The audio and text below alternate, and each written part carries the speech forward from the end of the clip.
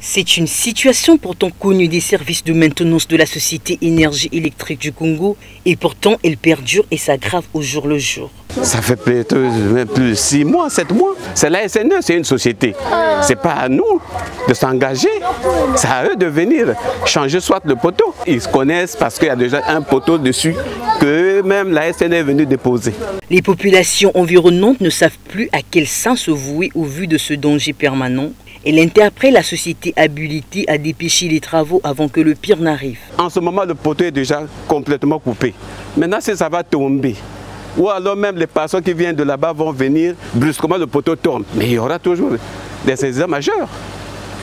Donc, c'est quoi je peux dire que la SNE puisse vraiment nous soulager. Ça, c'est des dangers en permanence.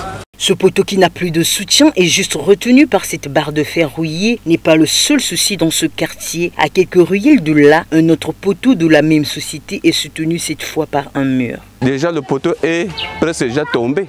S'il n'y avait pas cette maison, le poteau l'a tombé déjà. Donc, ils, viennent avec les factures, ils sont au courant. Ce n'est pas dit qu'ils ne sont pas au courant, ils sont au courant. Il faut dire que les problèmes qui existent déjà peuvent engendrer d'autres si l'on y prend garde et éviter le vol des câbles électriques et autres.